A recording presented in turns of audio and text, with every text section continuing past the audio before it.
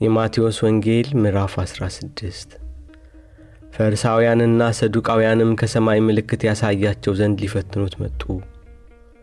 ጌታችን ኢየሱስም መልሶ እንዲህ አላቸው፣ በመሸም ጊዜ ሰማይ ቀልቶአልና ጊዜው ብራ ነው ትላላችሁ።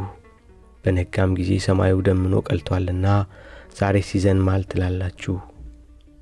እናንተ ግብዞች የሰማዩን ፊት መተርጎም ታውቃላችሁ፣ የዘመኑንስ ምልክት እንዴት አታውቁም?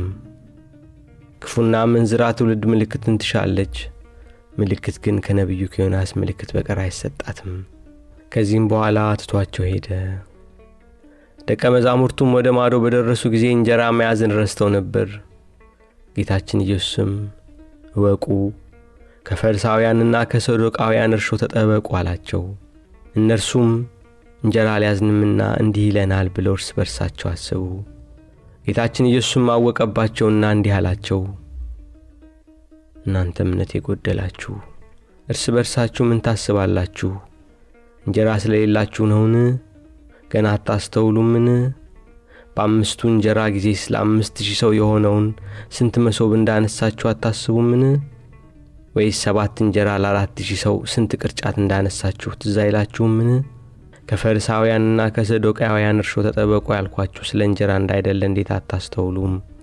ከዚህም በኋላ ደቀ መዛሙርቱ ከፈሪሳውያንና ከሰዶቃውያን ትምህርት እንጂ ከእንጀራ እርሾ ይጠበቁ ዘንድ እንዳልነገራቸው ያን ጊዜ አስተዋሉ።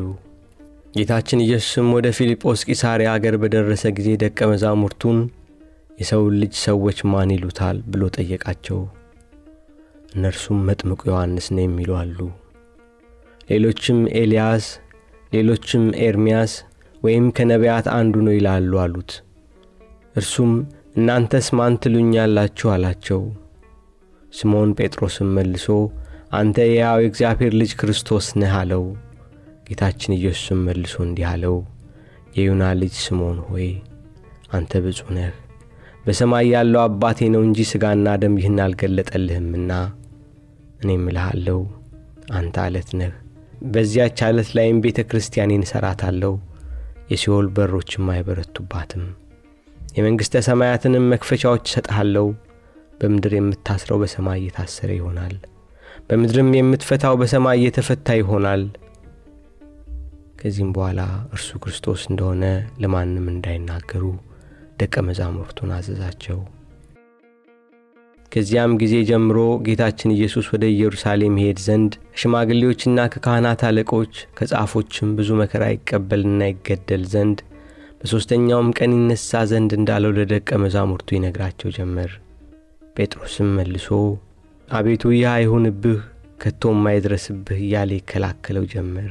ጌታችን ኢየሱስ ግን መለስ ብሎ ጴጥሮስን እንዲህ አለው፣ አንተ ሰይጣን ከኋላዬ ሂድ፣ እንቅፋት ሆነህብኛልና የሰውን እንጂ የእግዚአብሔርን አታስብምና። ከዚህም በኋላ ጌታችን ኢየሱስ ደቀ መዛሙርቱን እንዲህ አላቸው፣ እኔን ሊከተል የሚወድ ራሱን ይካድ፣ ጨክኖም የሞትን መስቀል ተሸክሞ ይከተለኝ። ነፍሱን ሊያድን የሚወድ ይጥላታል፣ ስለ እኔ ግን ነፍሱን የሚጠላት ያገኛታል። ሰው ዓለሙን ሁሉ ቢገዛ ነፍሱን ቢያጣ ለሰው ምን ይረባዋል? ሰውስ ለነፍሱ ቤዛ ምን በሰጠ ነበር? የሰው ልጅ መላእክቱን አስከትሎ በአባቱ ክብር ይመጣ ዘንድ አለውና ያን ጊዜም ለሁሉ እንደ ሥራ ዋጋውን ይሰጠዋል። እውነት እላችኋለሁ የሰው ልጅ በመንግሥቱ ሲመጣ እስኪያዩት ድረስ እዚህ ቆመው ካሉት ሞትን የማይቀምሱ አሉ።